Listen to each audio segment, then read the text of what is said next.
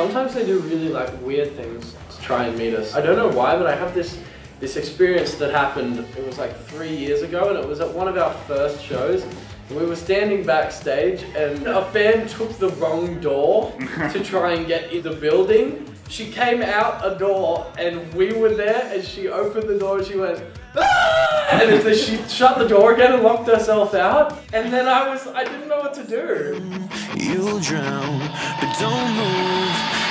To be honest, I mean, I don't really know why people watched our videos. Like, when we were doing covers originally, they were so bad. Mm. I think we'd go halfway through a song and we'd just mess up the lyrics or we'd just do the wrong thing, but we just keep going. And then it wasn't really until Ashton joined until we got serious about it. I think people like real people. We were just ourselves. We were just four kids in school, just having fun. I think people really got that.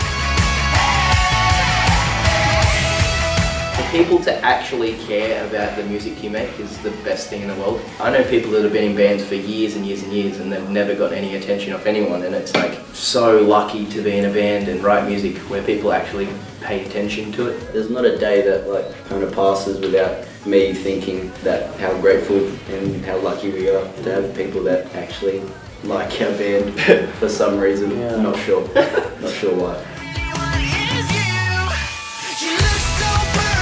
No, definitely not. We had fans, but they really gave us a chance at an international, you know, thing. Uh, we're so lucky to, to have had that, you know, and, and for, the, to, for them to let us introduce our rock pop music to their this pop audience, you know, it was amazing. For starters, we weren't sure if their fans would like us because their fans are, fans are equally dedicated to them. Yeah, I think um, sometimes when you write a song and you imagine where it would be played, and some songs, you know, should be played. We do it all the time, don't we? We're like, this would sound great in the stadium. Yeah. Because, Not even knowing that you get the chance to play in the stadium, you just like sometimes you can imagine things, you know, and it, it's which is the next thing. Like we we have a few songs which I've always imagined playing them in a big place, like you know, and we get the chance to do that. Songs that we've written, it's going to be mind blowing. Yeah,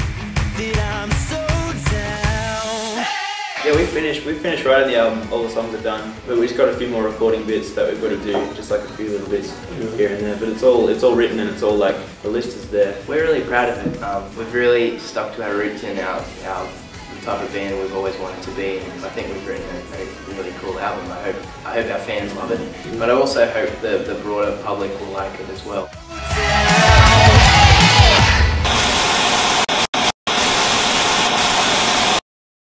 A fan gave it to me yesterday and she said it was from Verona. And I'm, I'm like the biggest fan of Romeo and Juliet. And all the fans know that too. Non capiscono quanto sia importante per noi incontrarli, dico per farci forza. Harry, Niall, Louis, Zayn e Liam. Per loro faremmo qualsiasi cosa, anche scappare.